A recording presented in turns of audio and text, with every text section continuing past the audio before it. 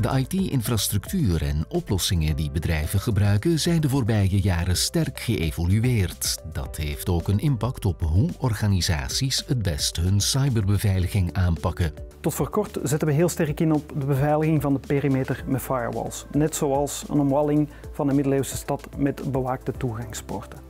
Die omwalling die brokkelt af, want we gaan veel meer cloud-toepassingen gaan adopteren. En we gaan ook veel sterkere dreigingen zien vanuit de buitenwereld. Cybercriminaliteit wordt meer impactvol, meer professioneel, meer georganiseerd. Applicaties worden meer en meer fluide. Ze bestaan uit verschillende microservices die met elkaar geïntegreerd zijn. Deze kunnen draaien in onze eigen datacenters, maar evengoed in de cloud. En het klassieke security model daarop toepassen zou de vele voordelen van cloud niet doen. Daarom is er een andere benadering nodig. Overstappen naar de cloud vergt dus andere veiligheidsmaatregelen dan een on-premise infrastructuur.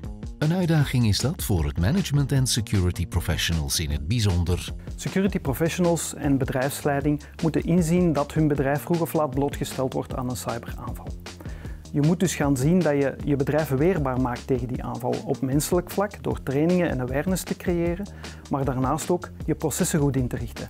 Daarnaast blijft technologie belangrijk om eh, een goede beveiliging in het bedrijf te laten landen uiteraard.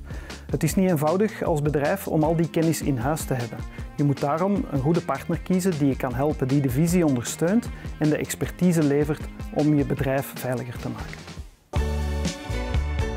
Telenet is zo'n partner voor heel wat bedrijven. Het heeft zijn interne werking aangepast om als een agile organisatie sterkere en betere oplossingen te kunnen aanbieden. Daardoor geldt het als voorbeeld voor andere organisaties die agile willen werken en tegelijk hun security willen bewaken. Veel bedrijven transformeren naar een agile manier van werken. En daarin zien we als security professional twee uitdagingen.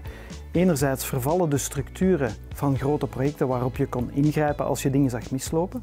Anderzijds is er veel vrijheid en creativiteit bij de ontwikkelingsteams mogelijk. Daar is op zich niets op tegen, maar ze moeten dan wel vanaf dag 1 beveiliging mee in hun ontwerp nemen. Agile gaat over empowerment.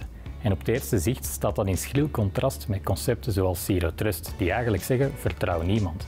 Het is juist de kracht van de geïntegreerde security systemen en de geautomatiseerde validatiestappen die het vertrouwen geven zonder te moeten inboeten op snelheid.